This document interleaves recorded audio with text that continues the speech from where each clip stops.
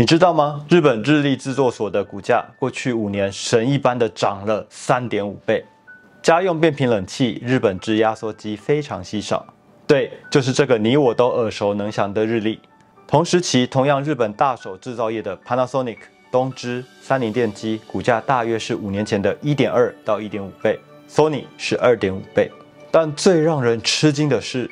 这一切的起点竟然是二零零九年，也就是受到雷曼兄弟金融海啸冲击的隔年，日立集团惊破七千八百七十三亿日元的赤字，撕开了日本制造业有史以来最高额的亏损。那时候，所有人都叹息说：“这公司不好啊啦！”但日立凭借着浴火重生，V 字反转，日立有没有可能也预示着日本制造业的未来呢？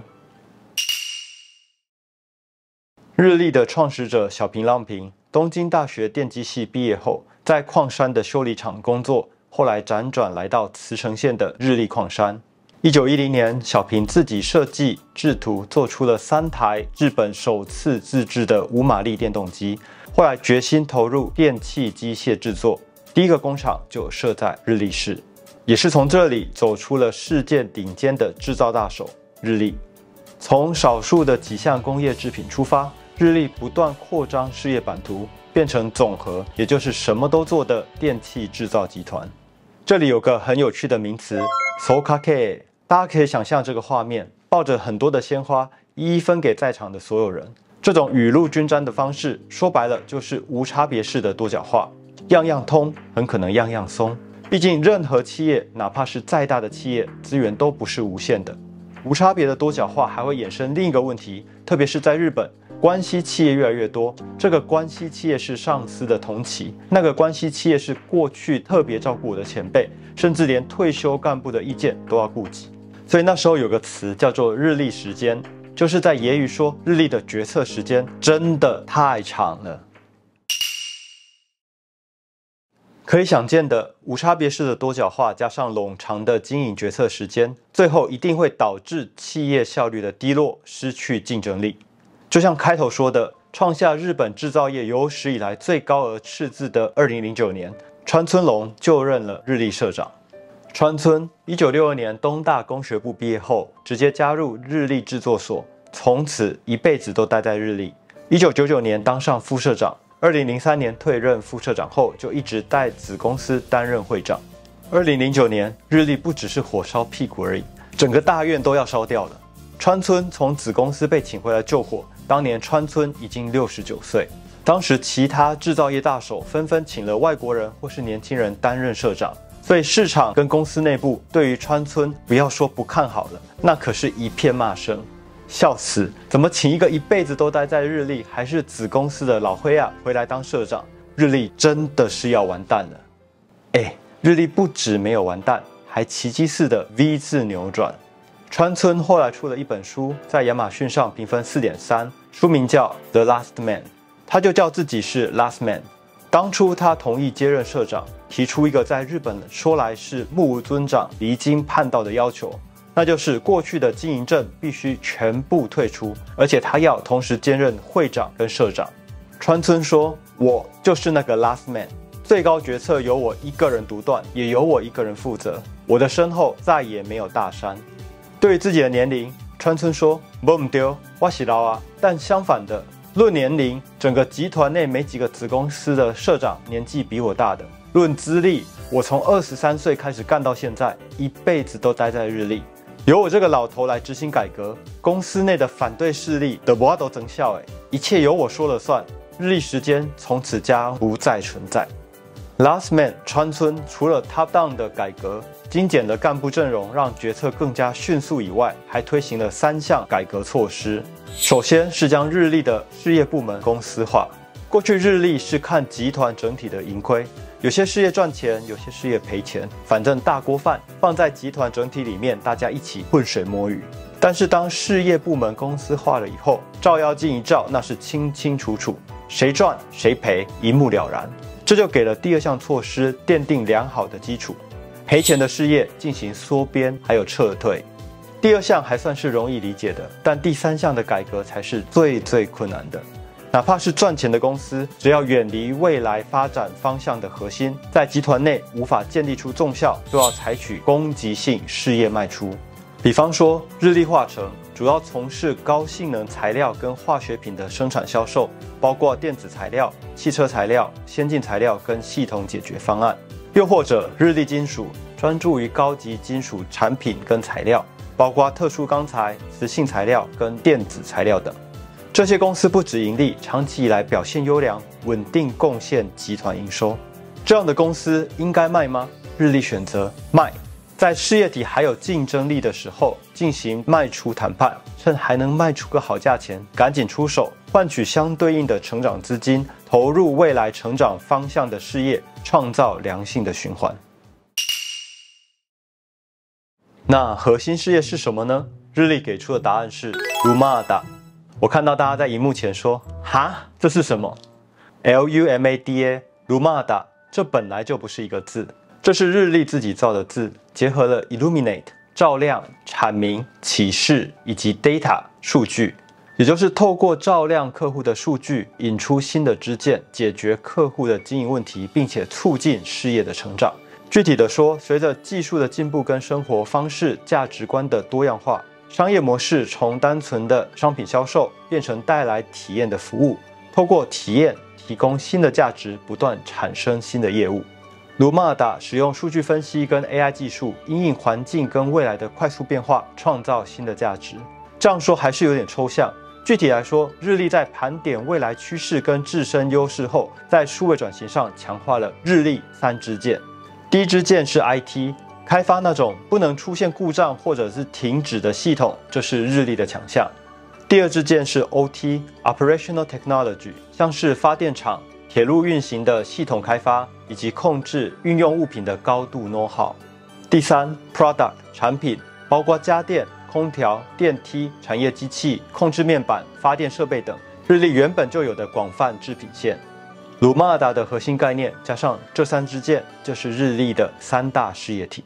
第一事业体是 DSS（Digital System and Service） 数位系统和服务。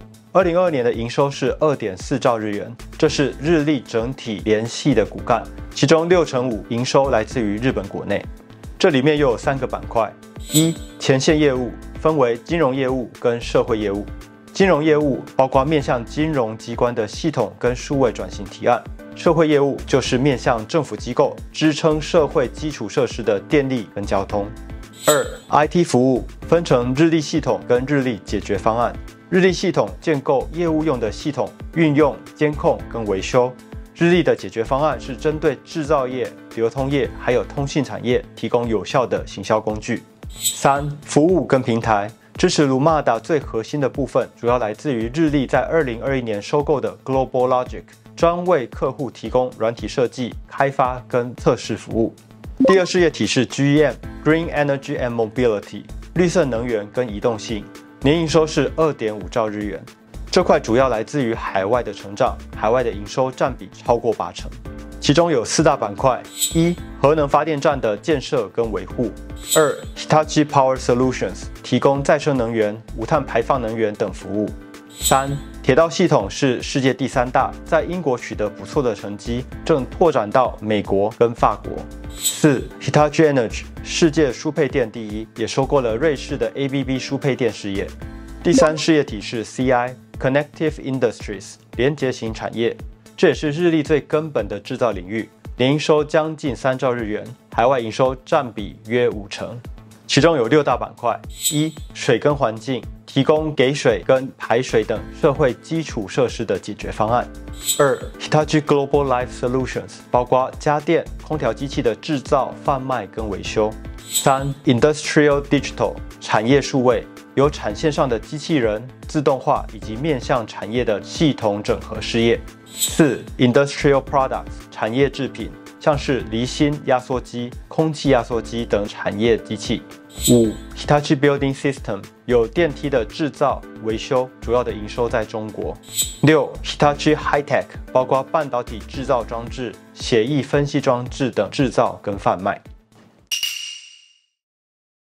日立过去一直主要提供家电产品、系统解决方案业务，集中在日本国内。经过改革，日立转向了社会创新事业，利用数据跟物联网的服务产品，把业务拓展到全球市场。通过跟各国企业以及政府的合作，推进创新。我们从财报上可以清楚地看到，日立的体质有了根本的改变。首先是收益的改善。根据东洋经济整理的图表，日立的营收从二零零六年以来大约在十兆日币上下徘徊，但营业利益从一年不到两千亿日币一路成长到八千亿，净利也从赤字成长到一年六千亿左右。其次是国内外的收益占比。日立的海外收益占比从二零一三年的四成到二零二二年超过六成。第三是旗下公司的收益占比，从十几年前的样样通、样样松，到现在专注于卢马达，而且将近四成的收益都来自于近年收购的公司。刚刚提到，现在有将近四成的收益来自于近年收购的公司。就拿日立收购的美国 IT 企业 Global Logic 当做例子吧。二零二一年，日立花了一兆日元收购了 Global Logic，让许多分析师跌破眼镜，觉得日立当了冤大头。因为当时的 GL 每年营收只有一千亿日币，为什么要花一兆日元呢？因为日立经营层看到的是收购以后的增长机会。GL 是一家位于美国的 IT 顾问服务公司。主要的业务是系统的设计、开发、运营跟维护，每年以二十趴的速度增长。主要的客户是世界级的重量企业，比方说麦当劳，全世界的自助点餐系统就由 GL 提供。当然还有许多知名的全球企业。而日立在 IT 上并没有 GL 的世界知名度，所以这次的收购更聚焦于提升卢马达的数位战略。结合两家公司优势，日立可以进一步的获得全球客户基础，包括提供云端技术应用、数据分析以及 AI 技术等最新科技服务，提升全球的竞争力。而收购后的整合，更进一步的推进日立的全球化，包括禁用不同国籍、不同人种的人才，带进来更多细骨的文化基因，像是服务设计的能力跟速度。在意大利飞驰的火车正穿过绿油油的平原，搭载着日立最新的科技，在有电网的地方透过电网获取动力，并进一步充电；在没有电网的地方，火车自动切换成电池模式。这种混合动力能源的方式，使用的能源跟碳排放量可以减少到原本的一半左右。这台新型车辆叫做 Blues，在重视环境保护的欧洲大受好评。来到北美。加拿大政府正大力推动电动车，其中一个商用电动车的企业 Lion Electric 正加紧生产电动校车。日立的挑战是如何将电池的生产自动化，做出高性能、安全的电池。透过技术的整合，日立的工程师导入了低环境负担的自动化系统，整合进原本 Lion Electric 的生产流程中。自动化系统生产出来的电池搭载在校车上，护送小朋友安全的上下学。在印度，上万台日立的 ATM 服务被导入。日立除了制造可靠的 ATM，更透过大数据分析，进一步的可以优化 ATM 设置的地点。回到日本，Life 超市一百三十六个首都圈的店铺导入了日立的设备统合系统。如果冷冻设备或是空调出现了异常，店铺就不需要一一通报总部，安排人手到店铺处理了。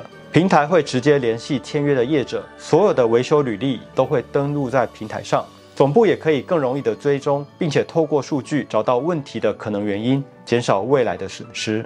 或者透过日历的 AI 材料讯息方案 Material Informatics，在无数复杂的排列组合中，AI 可以协助更快的找到新材料的可能，进一步加速材料科学的发展。